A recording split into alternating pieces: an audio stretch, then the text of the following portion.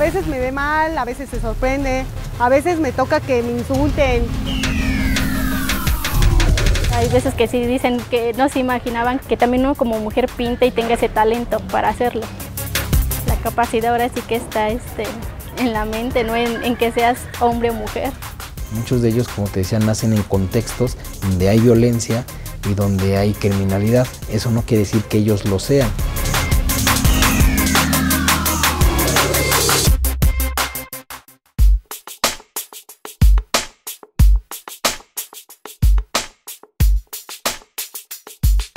Mi nombre es Flaca y soy grafitera de Chimalhuacán.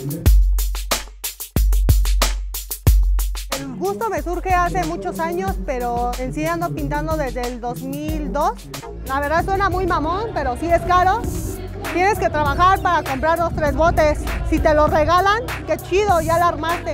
Pero si no, cada bote está como en 40 pesos. ¿Cuánto le tienes que invertir? Es quedarte o sin comer algo, o irte caminando, o trabajar horas extras. Yo no pensé que podía ser grafitera y aquí estoy. A mí no me gustaba el graffiti.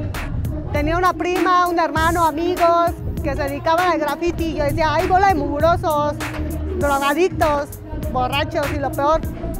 Pero un día empezó y cuando empiezas no te puedes parar. Y más si tienes ese gusto por pintar, por expresarte y por estar hablándole a la gente que pasa, ¿no? Es un saludo.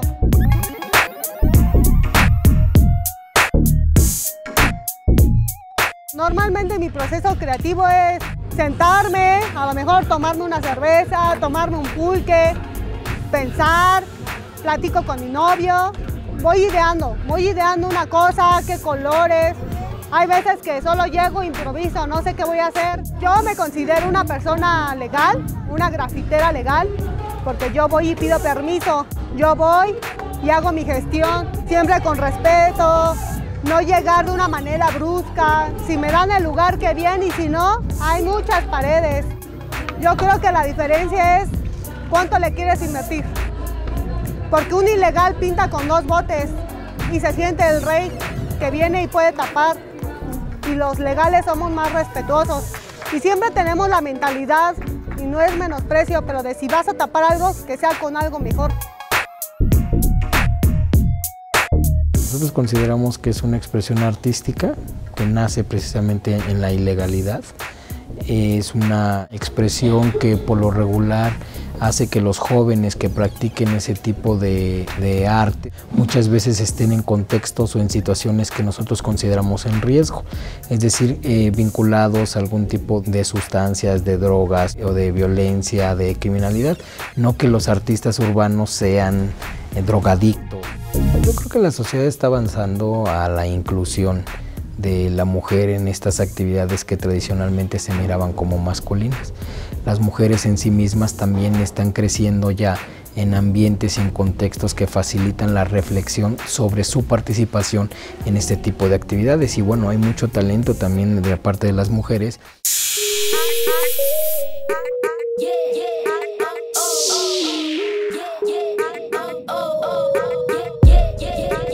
Para mí el graffiti es mi vida, es todo, es mi gran forma de expresión, un hermoso arte que te da las posibilidades de expresarte, de mostrar en ese momento cómo te sientes.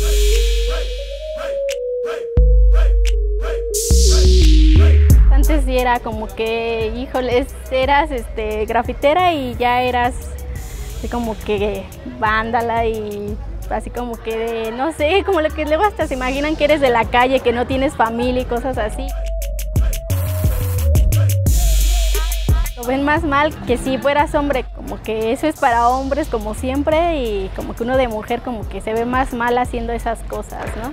Hay veces que sí dicen que no se imaginaban que también uno como mujer pinta y tenga ese talento para hacerlo.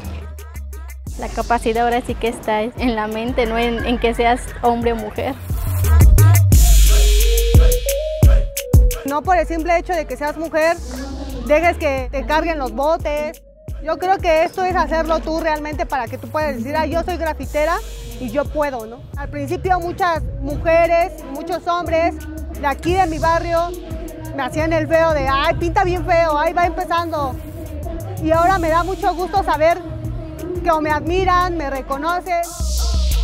Cuando conozco el graffiti, se me abre una puerta muy grande. Yo no tenía amigos, entonces empiezo a conocer amigos, conocer gente, ir a un lugar, ir a otro lugar. Perdí miedos que yo tenía y esto para mí la verdad es que me llena de satisfacción.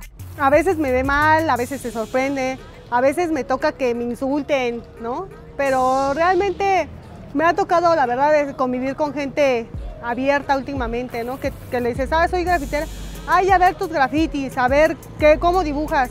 Y gracias a eso, pues han salido dos, tres chambas buenas. No todos son drogadictos, no todos son alcohólicos, no todos son rateros. ¿No? Hay mucha banda que viene con material, banda que trabaja, sino de dónde saca para su material. Yo creo que la gente se tiene que quitar esos prejuicios muy tontos de que somos unos chavos sin qué hacer, somos unos chavos rateros, chavos banda puede que sí, pero se tiene que quitar esa mentalidad de que el graffiti afecta a sus vidas, porque realmente no afecta. Yo creo que embellece la parte de la calle en la que caminan, tener graffiti, graffiti bonito, graffiti colorido, brinda algo de equilibrio a tu vida, de, de que si está un lugar muy feo, muy gris, llegas, le das color y ya te dan más ánimos de pasar, te da más la confianza.